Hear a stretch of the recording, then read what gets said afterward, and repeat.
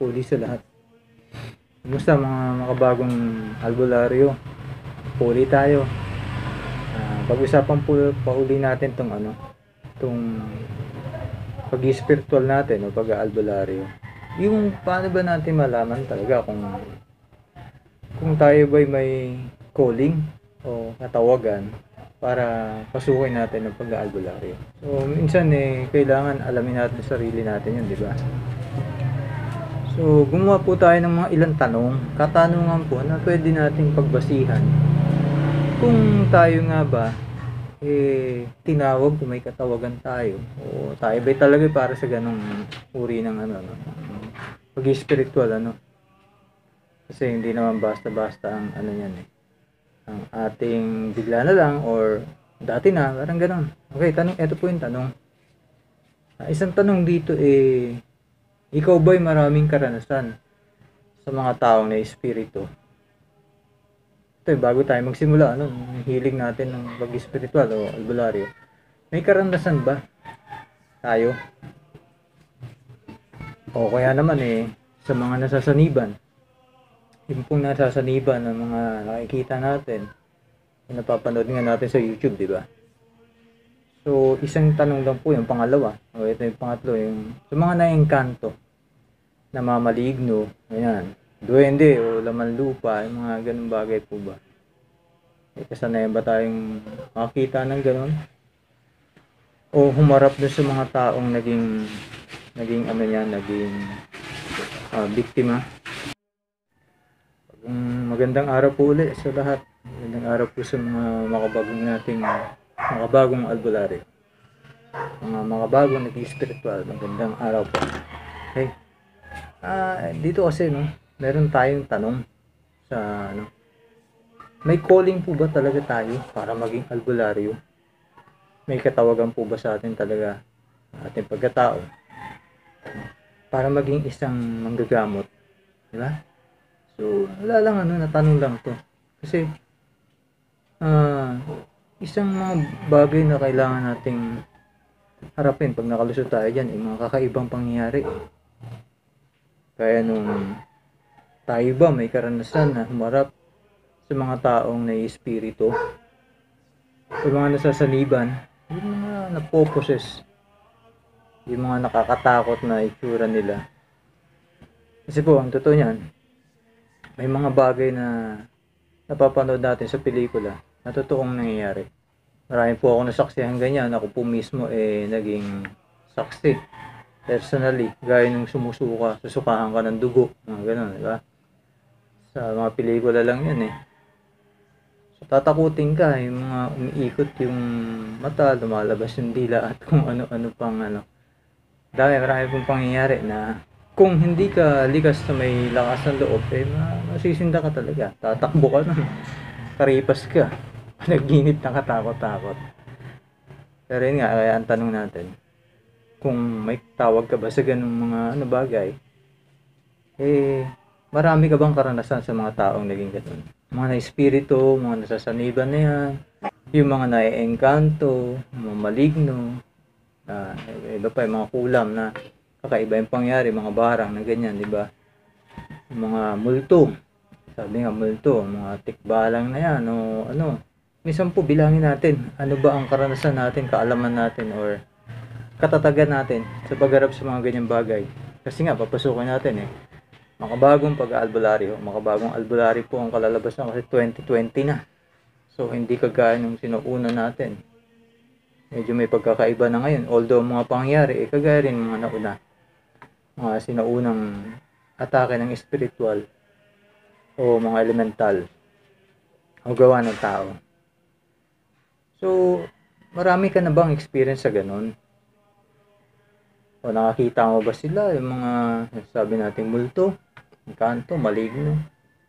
May nakilala ka bang sabihin nating lahi ng aswang, taong aswang? Mga dagdag yan na kalakasan ng loob. Dahil kung marami kang experience, nga ba, eh baka posible ka nga ng pag-aalbularing ginugusto mo sa ngayon. Kaya gusto mo mag-aral ng mga ganyan, mga salitang kakaiba, mga Latin na orasyon o dasal. na matagal nang itinago ng mga ninuno natin kasi nga pilit lang yung gusto nilang matuto, maka, matuto noon. So kaya naman eh kaya ba gusto mo pag spiritual albularyo eh dati ka ba napasama sa gawain na ganyan? Mga kamag-anak mo ba? O, na-impluensya ka ng mga kaibigan, kamag-anak, kung yung lugar na pinupuntahan mo, o kaya eh, nasa linan ka ba ng karunungan ng iyong kamag-anakan din, ng mga may edad sa'yo, o ng mga kaibigan mo, or kung sino man na nakilala mo, ba? Nat- naturuan ka ba, na-impluensyahan ka ba nila? Nakasama mo ba sila sa mga gawain ganun? O kaya naman, napapanood mo lang, tapos eh, nagkaroon ka ng interest, na gusto mo pala yung ganun. Yun, yung mga bagay na kailangan nating alam yung sarili natin kung kaya ba natin o talagang interesado tayo. Kasi pwedeng, pwede kasi may magsabi sa atin na mga gamot o kilalang ganyan na ikaw, anak o kapatid, pwede ka kasi nakikita akong may kakayahan ka. Merong kaloob na kakaibang ano, kalakasan ng ano, pangunawa at pagharap sa mga ganyang bagay. So yung mga interest ng taong yun, minsan, kailangan nating alamin talaga, lalo pang sarili, no? Yung sarili, kaya ba talaga natin? Kasi sabi nga eh, sabi nga ng, ng, ng marami, kaya sila gusto maging ganun, eh, makatulong sa kapwa. Totoo po yun, totoo. Ngayon, yung iba naman, Ah, sinasabi may mga eh sinabi bukas ang third eye. Bukas ang third eye nila. Ah, marami silang nararamdaman nakikita.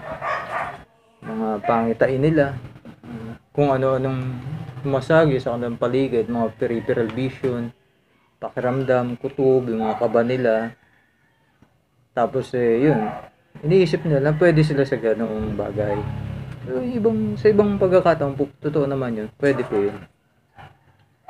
O kaya naman, no, sa ganun, eh, may third eye ka o yung, yung sabing kasanayan mo sa pagharap na ganun. Pwede rin naman na ano, sabihin natin eh, napamanahan ka ng mga gamit sa ganun. Ang ano lang nun, eh, mabuti ba o masama yung napamana sa iyo sa panggagamot, di ba? Kasi alam naman natin, nagkalat ang ano, alam natin yan, may mabuti at masama.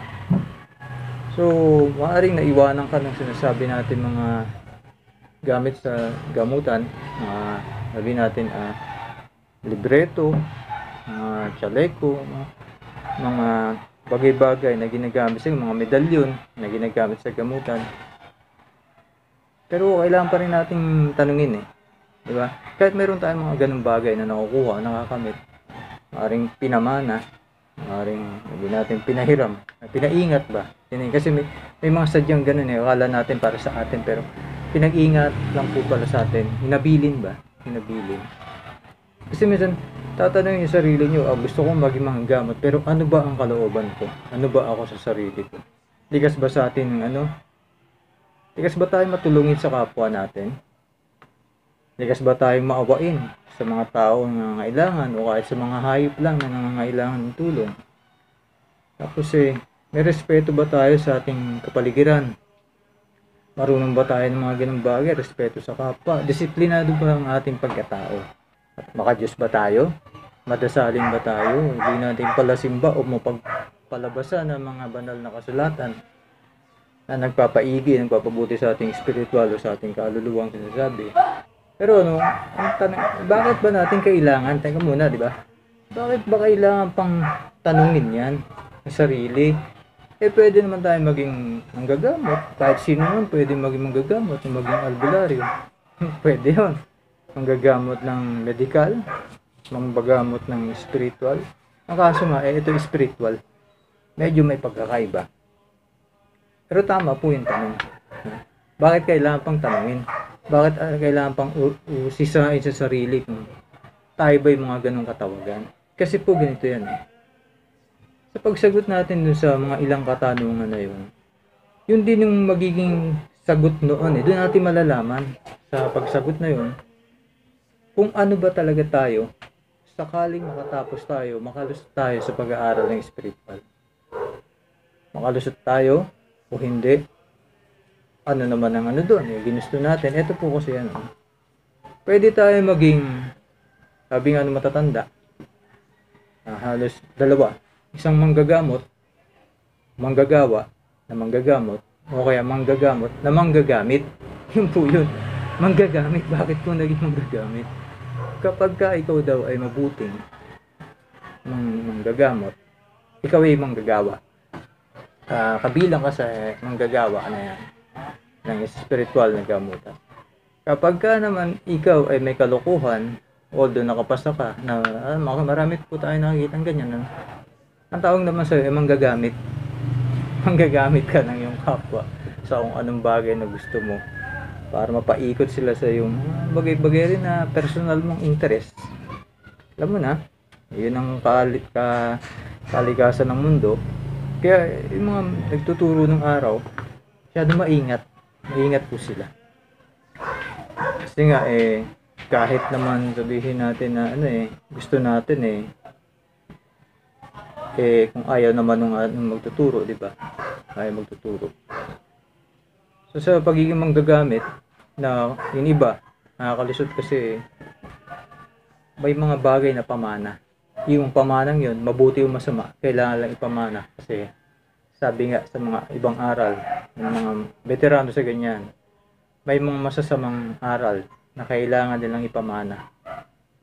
Hindi mamatay-matay. Sasalin yun. May mga nasaksihan po akong ganyan. May mga nasaksihan ako. Na sila mismo ang, ang nagkwento sa akin kasi nga na, natuklasan ko yung ano nila. So kailangan ko alamin ba't nagkaganon sila. Okay, doon po sa ano no, sa manggagamit at ah, ano, manggagawa. Kasi po, kailangan din minsan ano, or palagi siguro natin, buksan natin yung pangunawa natin na hindi lahat ng binigay sa atin o naiwan sa atin o pamana ay para sa atin. Kasi pwede yan na ano, ah, pahiram lang saglit, paiwan lang muna. Okay, hindi yan talaga sa'yo. Magkataon lang. Naiwan yan sa'yo. So kahit ano man yan, sabihin nating medalyon yan, taladro, o yung sinasabi libreta, mutya, talisman, kung ano-ano na nasa atin, hindi po lahat eh talagang akma sa atin. Kailangan po nating aminin na may mga ganung bagay kung bakit sa iba hindi gumagana yung mga ganyan. Kasi maaaring hinabilin lang, tapos eh, pagdating ng panahon, kukunin, o kaya eh, tinabi lang yan, nagkataon eh, nawala na siya sa mundo. So, nangyari, yung napagtabihan, na iwanan, nagkakaroon ng isipin na, eh, para sa kanya yung kaya naiwan sa kanya. Normal po yung ganun. Normal na normal sa ating pagkatao, ang pagiging ganun tayo, tagapagmana, kunwari. Ano. Yun ang papasok agad sa ating kaisipan. Kasi, kumbaga, perfect na pagkakataon na sa atin napunta. Ngayon nga, yun, yung mga bagay na yan, ano, ah, akala natin, eh, okay na. Tapos, eh, gagamitan natin pang spiritual. Yung iba hindi gumagana. Yung iba naman gagana pero hindi pala pang malakasan. Hindi po siya yung talagang ano kasi yung iba nun pang protection lang eh. Ginagamit yung mga sinauna nating mga matatanda o mga kilala na pang ano po yun, pang protection nila sa mga panganib, sa mga kalaban. Pero hindi po talaga pang malakasan kung gagamitin pang spiritual o pang aalbularyo. Marami pong ganun. Akala nila po pwede ron, pero hindi pala. Kasi hindi pala yun nakatalaga para maging gamutan sa mabigat na laban ng spiritual. Kaya nga yung mga iba, sakaling ano naman, pinag-iigihan o kaya ay nagtatanong sa mga mas nakakaalam, ba't ganun, ganito? So, yung pong mga bagay na yun, eh, sadya pong nakalaan para sa ganun. Ano? Balikan natin yung sinasabi ko kanina, ano, yung, yung gamit ba, yung, yung napamanahan o naiwanan lang na medyo pwede siya pang physical, tsaka konting pang spiritual, pero hindi po siya pang malakasan talaga sa malalim na laban ng spiritual o yung panggamutan. Kasi may mga bibigat na ano po yan eh, na pakikipaglaban. So kahit na naiwanan nga tayo mga ganung bagay, na inakala natin na pagka meron tayo nun, eh tayo na nakalinya na sa mga albularyong yan, yung mga bagay na nabanggit ko, eh kailangan pa rin natin mapatunayan kung napakabigat nga po ba't kailangan o karapat dapat na gamitin sa mga ganyang spiritual na malalim na labanan. Doon naman sa sinasabi nating ano, Yung mga sinasabi nilang bukas ang kanilang third eye, gusto magpabukas ng third eye o may third eye sila. Hindi po ibig sabihin nun na ano eh, kayo tayo ay manggagamot na. Tayo nakalahilero na sa panggagamot yan. Hindi po ganun. Hindi naman po ganun ka ano yun. Kasi mga third eye na yan, o bukas ang third eye na sinasabi, kasi psychic ability po yan ng isang tao, ng isang individual. Hindi po ibig sabihin na ano, yan, yung sinasabing nakabukas, so nakakita kayo ng kung ano-ano, maraming mga kung ano-ano bagay ng elemental, spiritual, sa inyong peripheral vision, sa inyong mga mga panaginip, mga bangungot, eh ibig sabihin eh, bukas ang, ah, oh, bukas ang third. Hindi po ibig sabihin na kayo kagad ay manggagamot, o tayo kaagad ay manggagamot. Hindi po ganun. Kasi yun po eh, ah, katangian po yan pang individual, paloob yan ng Diyos yan po eh psychic ability na yung iba pinagyayabong, yung iba hindi, ano. Pero hindi po ibig sabihin na kagad po ay tayo manggagamot. No, magkaiba po yun. Magkaiba. Although sa ibang mga individual, ibang tao, mag, magkaugnay po yun. So, kailangan po natin intindihin maigi na ah, ang panggagamot at ang pag, pagka-open ng third eye na sinasabi, eh, hindi po ibig sabihin manggagamot agad, ano? Hindi po ganoon. So, yung psychic ability nga yan na kaloob ng Diyos, eh, pasalamat po natin, meron tayong ganyan. Yung iba, hindi yan, ano, hindi yan pinapractice. Kasi po, natatakot sila. Natakot sila sa katotohanan, mga nakikita nila, na nagiging para lang silang paranoid.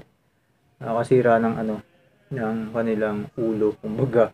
Lalo na hindi, hindi sila nakatalaga para sa pagharap ng ganyan o hindi nila ma-accept sa sarili nila na ganun sila. Yun po ang balakid na nagiging ano sa kanila. Uh, mahirap tanggapin. Mahirap pong tanggapin yun. Na ang dahil mo nakikita, hindi ka maunawaan ng tao. Hindi mo rin pwedeng sabihin na ganito, ganun. Matatakot ang iba. Although yung iba, no, ginagamit yun, pampabida nila. Panakot nila sa ibang kapwa. Na, oh, may ganito, ganun, may ganun, nakikita ko ganun, ganun. So yung mga nagsasabi po ng ganun, ano, uh, pasintabi sa inyo, ano, nananakot po kayo ng tao. Tinatakot yung karamihan. Pinapabilib nyo ang iba. At hindi lang sa pinapabilib, gusto nyo makuha ang simpatiyan nila. Diba? Gusto nyo maging sikat yung sarili ninyo. Paumanhin, ano, sinasabi ko lang ang totoo. Kasi, marami po ang may ganyan. Marami ang totoo at hindi. marami po ang experience niyan. so, yung mga tao may third eye na sanay na sa ganyan, o na, natanggap sa sarili nila, sila po yung tao talagang malakas ang loob na humarap sa mga spiritual na bagay na yan kung bukas ang third eye. Meron naman pong hindi bukas ang third eye na uri ng manggagamot na talagang panggagamot ay nasa kanilang dugo, nasa kanilang katawan. Kasi nakatalaga po eh. Pag tinalaga ka ng Diyos para sa ganyan, mahihirapan kang atrasan yung bagay na yan. Mula bata hanggang magkaedad ka, para yung guni-guni o para yung multo o para yung anino sunod na sunod sa'yo, kasi develop ka po niyan. Tinitraining ka niyan kung ano ka talaga. So, yung mga bagay na yon eh, darating panahon, matatanggap nyo rin po yun sa sarili nyo. So, yun nga, may mga ganong kasanayan, eh, hindi natatakot humarap sa mga ano, interdiability nila, ginagamit nila. Sa ibang mga gamot, meron yan, sa iba naman ay wala. So, hindi po pare-pareho. Uh, huwag nating ano, takutin ng iba na sabihin may third eye. Huwag natin pasikatin sarili natin na pagbibida at pagkukuha ng ano. Medyo pag-isipan po natin yung mga ganung bagay. Ano? O kaya naman, uh, yung iba nga, uh, maraming ano, may tangan na sila, may bigay, may kaloob, merong pamana. Pero pansin nyo bakit hindi nila ginagamit o hindi nagagamit? Kasi po, pag hindi akma sa kanila, hindi tugma, hindi rin, hindi rin maano, di ba? Hindi nag epekto kaya nga, maaaring alam niyo yung mga kwento na ibang matatanda uh, namatay ng, alam niyo meron silang ganun, alam ang kwento na may mga hinahawakan ganyan, libreta o medalyon kung ano na ginagamit nila ng araw. Eh bakit nung sila'y mawawala na sa mundo, ayaw nilang ipamana? Di po ba? Kung may alam kayo mga ganong kwento, eh i-share niyo po. Kasi, totoo po yun, ayaw nilang ipamana kasi merong mga masamang bahagi doon na nasubukan nila, ayaw na nilang madamay pa ibang mga mahal nila sa buhay yung papamanahan nila. So, yun, sinasarili na lang nila yung mga ganong ano nila, mga ganong kakayahan nila. Yung iba naman, ano, yung iba, yung iba sadya pong pinamamana. So, pag pinamana, sabi nga eh, bago mamatay, kailangan isuka niya yun at maisugo sa ganitong ganon. May mga ganyan po talagang totoong pangyayari. Totoo po, totoo ang mga ganyan pangyayari. Bihira nga lang pong ma, ma- may kalakasan loob na magkwento, no? Bihira. Pero marami nakakaalam ng ganyan kasi sila yung mga saksi din. Nasaksihan nila kung paano ang ganun. O kaya mismo yung tao ang nagsasabi dahil sa close na siya sa isang pinagkakatiwala ang tao rin, ikukwento niya po yan. Sasabihin niya. Minsan po hindi sila makalusot sa mga taong ganun kasi nakukuha po yan sa linis ng kalooban ng taong nagtatanong. Kailangan po malinis ang buti at intensyon para may bahagi sa atin yung mga kwentong ganyan na nagpapalawig po ng ating kaalaman sa mga usaping spiritual at saka kababalaghan. So, pasalamat sa mga taong nagtiwala po para magkwento ng ganyan. Maraming salamat sa mga kakilala, mga kaibigan, no? Sa lahat. So, kung yun po, yung mga katawagan na yun, uh, may, mayroong kalakasan na loob spiritual, marami kang marami kang experience sa pagharap ng mga ganung bagay.